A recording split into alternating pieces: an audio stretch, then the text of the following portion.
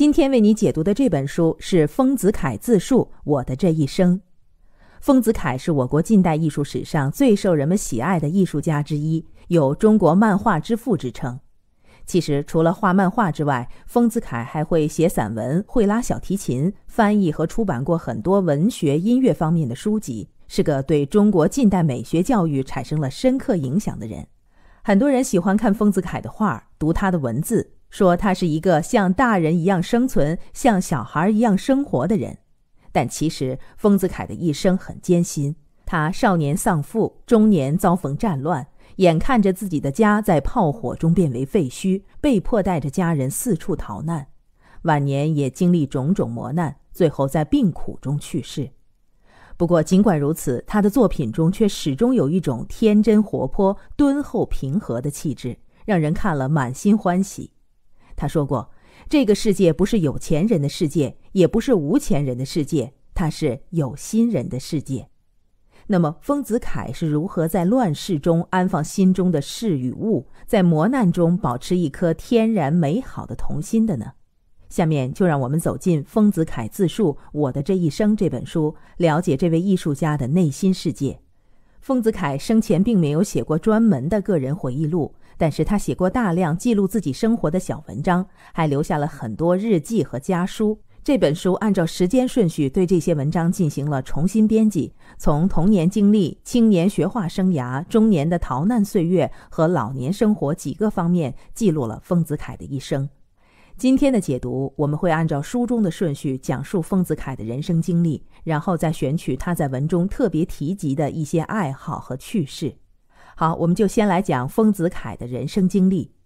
一八九八年，丰子恺出生在浙江省东北部的一个叫石门湾的小镇，他把这里称为安乐之乡，说儿童时代是自己人生的黄金时代。那么，他的童年和故乡到底是怎样的呢？京杭大运河流经杭州北部时转了个弯儿，这个转弯处就是丰子恺的家石门湾镇。这是一个家家有余、户户有米的富庶小镇。丰子恺说：“家乡没有一块荒地，稻麦之外，这里四时蔬果不绝，风味各殊。尝到一物的滋味，可以联想一季的风光。”丰家的房子就在运河的旁边，这是一个大院子，分为染房和住宅。染房是家族生意，规模不大，叫做“丰同裕”，意思是丰氏家族共同富裕。丰子恺一家和亲戚们一起住在这里，这种大家庭的集体生活给丰子恺留下了特别美好的回忆。他说：“大人常一起包包子、做点心，孩子们则在旁边尽情玩闹，连打架都是开心的。”有一次，在和一个哥哥抢点心的时候，丰子恺磕破了头，额上留下了很深的疤，他把这个疤痕称为“梦痕”，并在书中写道。谁说疤痕是缺陷？我现在还能因此热烈回忆起神情活跃的哥哥和那些兴致蓬勃的玩意儿，这是我儿时欢乐的佐证，我黄金时代的遗痕。虽然家里开染房，但丰子恺的父亲对家族生意没有什么兴趣，而是把所有的精力都投入了科举考试中，成为石门湾镇的第一个举人。不过，因为时局的关系，丰子恺的父亲一直没能进入官场，只是在当地开了间私塾教书，但也非常光宗耀祖了。丰子恺说：“因为父亲的原因，自己无论走到哪里都被尊称为少爷，甚至去店里买东西都能得到商家额外赠送的零食。只不过好景不长，父亲去世后，这种礼遇就消失了。父亲去世时，丰子恺九岁。”虽然父子缘分不长，但却深刻影响了丰子恺的一生。父亲是丰子恺的第一个老师，丰子恺也是父亲私塾的第一个学生。丰子恺读书写字的基本功都来自于父亲的教导，而且父亲身上那种读书人对生活仪式感和美感的讲究，也让丰子恺记忆犹深。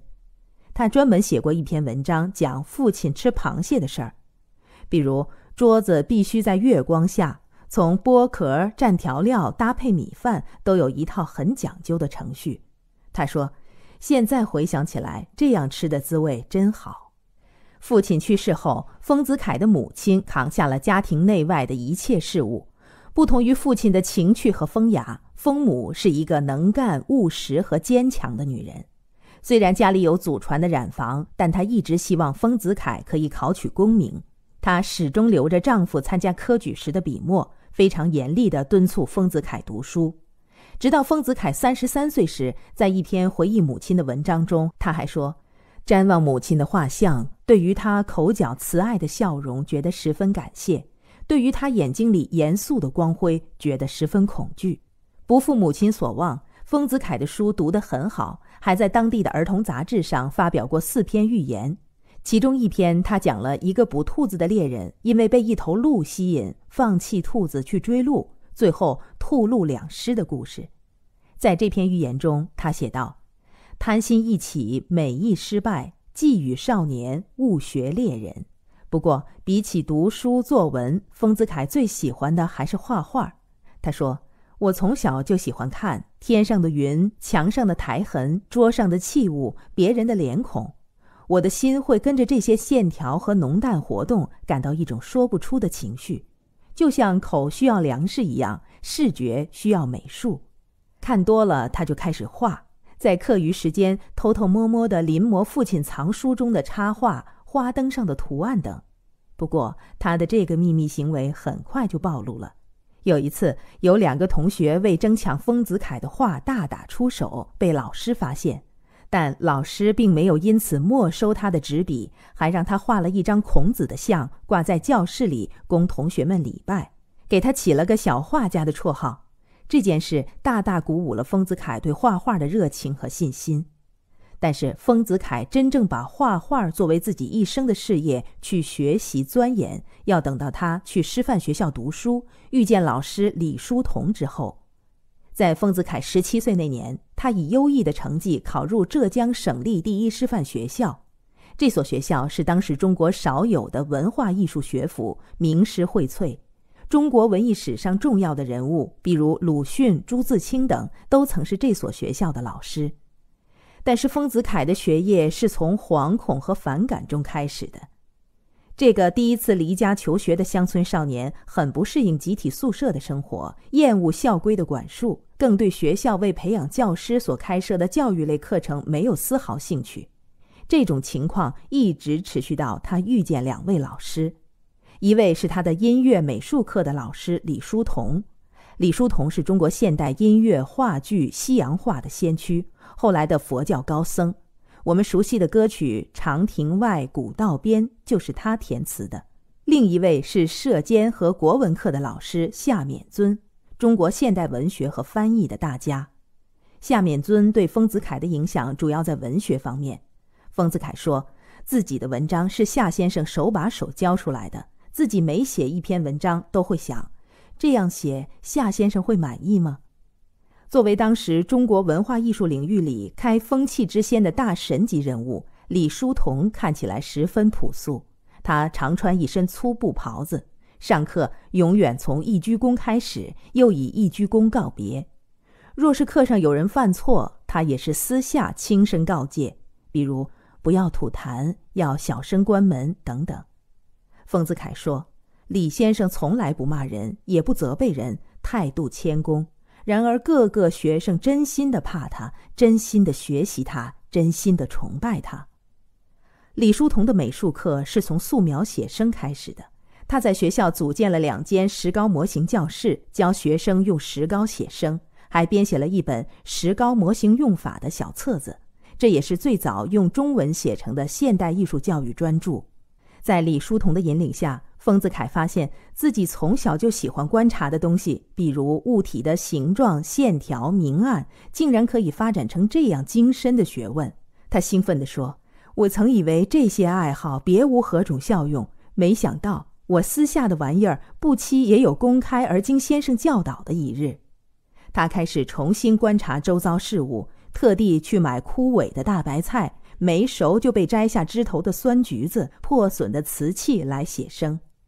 他说：“经过长期与石膏的奋斗，我觉得眼前的世界不复昔日的混沌，各种形状，地上的泥形，天上的云影，墙上的裂纹，各种植物的枝叶花果，都对我表示一种态度。那些在别人看来一文不值的东西，在我看来个个有灵魂似的。绘画的快乐让丰子恺渐渐疏远了其他功课，埋头于美术，一笔一画苦苦磨练。对于丰子恺的努力和进步，李叔同都看在眼里。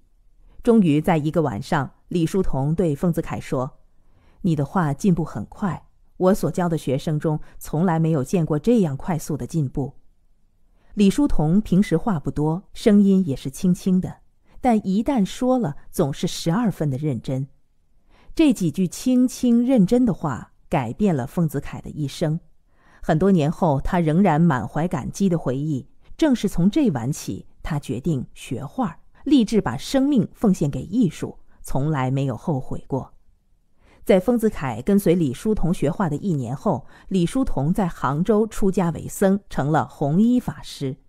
出家前，他把丰子恺叫到身前，郑重赠送了自己的诗词手稿，其中有这样一句话：“长夜凄风眠不得，度群生哪惜肝胆剖。”这句话是李叔同内心的剖白，表达了自己抛弃世俗生活，选择出家是为了更好的普度众生。丰子恺把这句话和诗稿珍重收藏，他暗自决定：老师虽然不在自己身边，但自己要像老师一样生活。不知是有意还是无意，丰子恺之后的人生道路几乎一直追寻着老师李叔同的足迹。李叔同曾留学日本，从师范学校毕业后，丰子恺也去了日本游学。在日本的十个月，他非常刻苦认真、废寝忘食地学习音乐、绘画，苦读日语、英语。有一天，在一个旧书店里，他偶然看到一幅寥寥数笔的小漫画，作者用的是西方的构图，加上东方毛笔画法，再辅以几句话点题的方式，非常有意思。这种画风在当时并不受欢迎，但丰子恺却很喜欢。他开始效法这种方式画画。他喜欢画充满诗意的事物，比如他画一弯新月，几个茶杯，题上“人散后，一弯新月天如水”；画一个穿长袍的人站在楼台前，写一句伤感的词“无言独上西楼”。他也喜欢画贴近生活的简单图像，配上通俗的大白话。比如，他画一棵树后一堵墙，一个小朋友躲在墙后露出大眼睛，配文道：“朦朦胧胧露出孩子黑且大的眼。”丰子恺说：“漫画就是优美的造型，加上一颗诗词的心，就是随意的画，随心的画。”丰子恺的画很快流行起来，通俗的语言，简洁直白的画面，从小商小贩到老人小孩，甚至文盲都看得懂。他把画印成册子，卖得很便宜，以至于澡堂子、馄饨摊儿上都挂着他的画。这是丰子恺所乐见的事。他说：“希望我的画挂在喜爱他的人那里，而不是画商手里。哪怕一个扫地阿姨能因此感到欣喜，就是画很好的归宿。”这段时间是丰子恺生活最为平静的几年，他的事业进展很顺利。画画之余，他还同夏勉尊、朱自清等人一起在上海创办了开明书店和立达学院。他做音乐和美术教师。一九二七年，在老师的影响下，丰子恺正式皈依，成为佛门的在家弟子。老师给他取法名“婴行”，婴儿的婴，行走的行，希望他能够像孩子一样天真纯善地行走在世上。皈依后，丰子恺遵从佛门的倡导，奉行不杀生和素食的理念。身体力行一段时间后，他更深刻地意识到生命的宝贵难得。一九二八年，他决定画五十幅劝导人们不要伤害生命的漫画，为老师五十岁生日祝寿。他把这些画称为护生画。他希望能借由漫画这种艺术手段，唤起人们心中对生命的尊重与悲悯。他认为这是他能给予恩师最好的报答，但丰子恺平静的生活没有维持很久。一九三二年，日本人发动一二八事变，上海等地沦为战场。为了躲避战乱，丰子恺带着妻儿回到老家石门湾小镇。人口增加，曾经的老宅太拥挤，于是他亲自设计建造了一个前后都有院子的二层小楼，供一家人居住。他给小楼取名“圆圆堂”，缘分的缘，以此表达对生命无常的敬畏之心。毕竟，在乱世中，一个极细微的缘就可以决定人的生死。圆圆堂的设计，丰子恺很注重空间和采光，力求宽敞明亮。他说：“我认为光明正大的环境适合我的胸怀，可以涵养孩子们好真、乐善和爱美的天性。虽然我只花了六千元建造它，但唐使秦始皇要拿阿房宫来换，我也不同意。”圆圆堂里的世界是美好光明的，但圆圆堂外的世界则是满目疮痍。一二八事变后，日本侵华的脚步加快，中国大片土地沦为战场。烽火纷乱中，最苦的莫过于普通劳苦大众。这段时间，幽居圆圆堂的丰子恺不断用自己的笔墨描绘着战乱中普通人的悲欢离合。他开始创作漫画《日本侵华史》，准备把从明代倭患以来几百年里日本人在中国的恶行画出来。但是就在这本书即将完成的时候，一九三七年，日本人占领杭州，石门湾惨遭轰炸，小小的村子死了一百多人，圆圆堂也在炮火中毁于一旦。丰子恺带着全家十几口人挤上一条小船，仓皇逃离故乡，踏上了万里流亡的路途。这一逃就是九年。逃难的途中，惊魂未定的丰子恺担心漫画《日本侵华史》被日军缴获，引来杀身之祸，将手稿尽数丢入河中。但是他并没有因恐惧停下画笔。九年里，他不断有作品出版，记录着携妻带子背井离乡途中的所见所闻，控诉战争杀戮带来的创伤，呼吁和平与安宁。他画死于空袭的母亲，怀中犹在哺乳。并配文：“空袭也，炸弹向谁投？怀中娇儿有所辱，眼前慈母已无头，血乳相和流。”他画一艘坚固的船，说：“我恨不得有一艘大船，浸载了石门湾的乡亲及世间一切众生，驶向永远太平的地方。”他也开始画祖国壮丽的山川江河，色彩浓丽，气势宏大。这在他以往的作品中是没有的。他在以此表达自己对破碎河山的眷恋。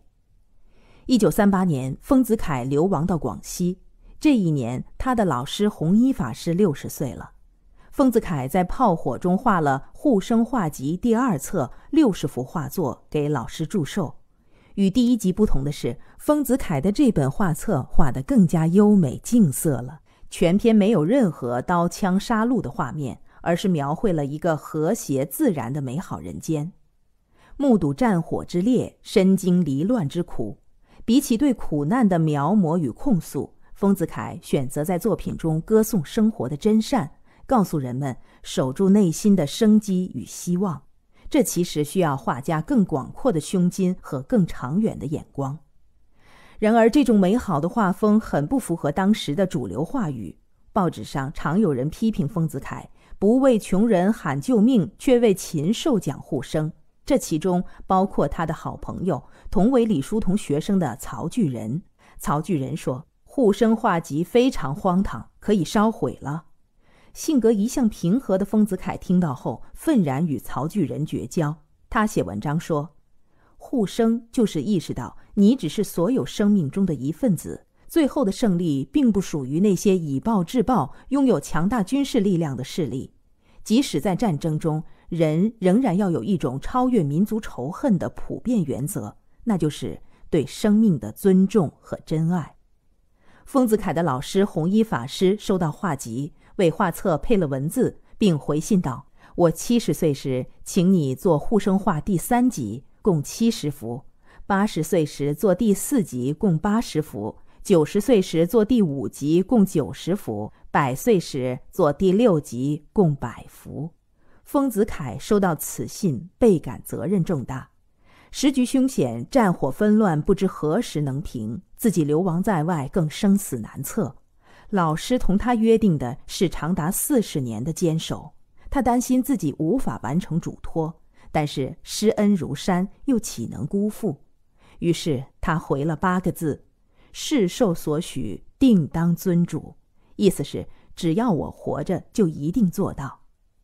在《护生画集》第二册出版后的三年，弘一法师就去世了。但丰子恺始终没有忘记给老师的承诺。一九四九年，他辛苦漂泊至厦门，闭门三月，完成《护生画集》第三册。一九六一年和一九六五年，《护生画集》第四册和第五册在新加坡出版。一九七三年，文革中，丰子恺被下放到农场做工。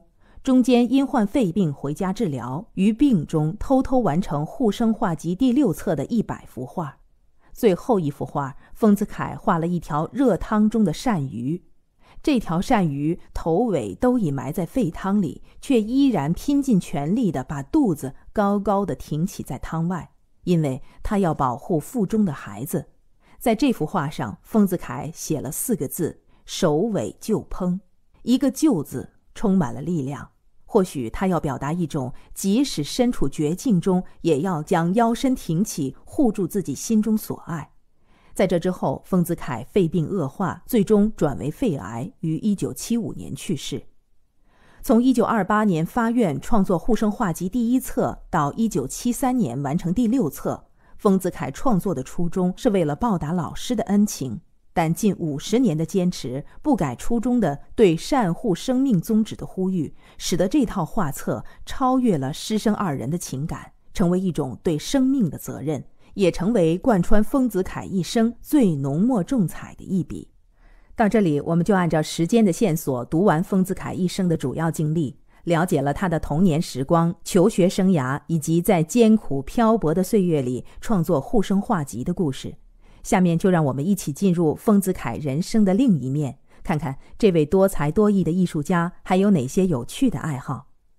丰子恺的第一个爱好就是爱孩子，他把自己称作儿童崇拜者，喜欢和孩子一起玩耍。在他的漫画和作品中，出现最多的也是小朋友，搭积木、玩过家家、被先生逼着写作业等等。对丰子恺来说，小朋友的世界有无限的自由和可能，房子的顶可以拆掉以便看飞机，睡觉的床可以用来种花草以便引来蝴蝶，房子里可以住铁路和火车站。在儿童的世界里，他找到了成人世界里所没有的真诚、快乐和自由。他说：“孩子是天地间最健全的人，能够看到世界的真相。”而不是像大人一样被各种尘世的偏见、欲望所蒙蔽。我的心只为四世占据：天上的神明与星辰，人间的艺术与儿童。丰子恺的第二个爱好是猫，尤其是爱画猫。丰子恺养过三只猫，一只叫白象，一只是叫猫伯伯，还有一只叫阿咪。其中最引人注意的是猫伯伯，这只猫是黄色的。特别喜欢坐在写作的稿纸上。丰子恺说：“猫伯伯睡着时，身体仿佛一堆牛粪，正好装满了一张稿纸。”猫伯伯喜欢凑热闹。他写道：“有一次有贵客来访，我正襟危坐，专心应对，久仰久仰，岂敢岂敢，好像演戏。不想猫伯伯却跳到贵客背上，我觉得唐突，想赶走他，贵客却几口称赞：这猫真好。”紧张的演戏就变成了和乐的闲谈。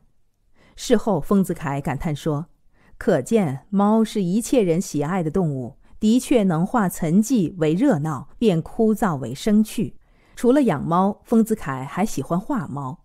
在他的画中，人们喝茶聊天，猫就在桌角睡觉；大人翘着二郎腿读报纸，猫就跳到人翘着的脚上。小朋友一起玩耍，猫则窝在屋顶默默旁观。总之，猫一直在人的生活里。对丰子恺而言，画中的猫就像世间所有的生灵的代表，与人和谐地生活在一起，如同他毕生所做的护生画集那样。这里传达的是他对人与动物的平等心。丰子恺的第三个爱好是音乐。丰子恺还是中国音乐教育的先驱。他给贝多芬、莫扎特、肖邦等音乐家都画过漫画，写过《音乐常识》《近世十大音乐家》《西洋音乐器子》等书，还编辑出版了《口琴、钢琴音乐演奏技法丛书》，致力于把西方的音乐理论介绍到中国。包括叶圣陶在内的很多教育家都对丰子恺的尝试赞誉有加，说这些书籍像给紧闭的房屋打开了一扇小窗，启迪了中国人的音乐兴趣。这些音乐书籍的背后是丰子恺自己对音乐由衷的热爱和积极的尝试。早在儿童时代，他就喜欢唱歌。他说自己的对国家的爱，就是在小时候唱的那些爱国歌曲中建立的。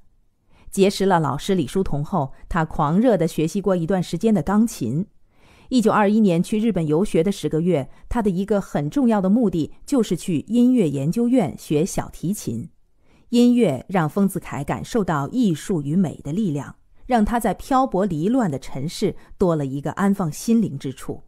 其实不仅仅是音乐，作为中国最早一代的编辑，丰子恺还出版了很多文学、建筑、美术方面的书籍。更主持发行了《美育》杂志，他始终坚信美是安放生命与心灵最好的所在。丰子恺的第四个爱好是爱喝酒。虽然三十岁的时候，丰子恺就在老师李叔同的影响下皈依了佛门，做了佛教的俗家弟子，并且终生吃素，但是他始终没有割舍掉一个不被佛门允许的行为，就是喝酒。丰子恺喝酒有两个讲究。一个是喜欢喝绍兴产的黄酒，很少喝高度白酒；一个是不能求醉。他认为喝酒是风雅的享乐，若是不懂节制，醉到骂人、打架，甚至呕吐，就违背了喝酒的初心。虽然提倡饮酒的节制，但是丰子恺也有喝得大醉的时候。比如听到抗战胜利的消息，他酒性大发，连着喝了数顿酒，从每晚八两增加到一斤。欢喜地说：“此时不饮，更待何时？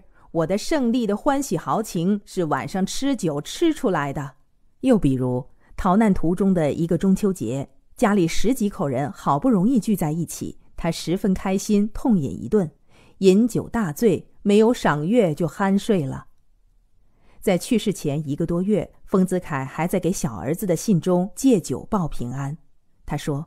我每天能喝一斤黄酒，吸一包烟，没事儿就读读书、写写字，打发时间，一切不需要你们担心。但其实当时他的身体状况已经十分糟糕，手臂麻木，发烧不退。这份谎报的家信传达了丰子恺心中的豁达与乐观，以及对子女的宽慰与爱护。丰子恺曾说：“我敬仰我的老师弘一大师，是因为他是一个像人的人。”做一个像人的人，或许这就是丰子恺生命的追求。终其一生，他始终以广博慈爱之心，做至纯至善之画，用艺术的美好与纯真安顿自己的心，回应人生的磨难。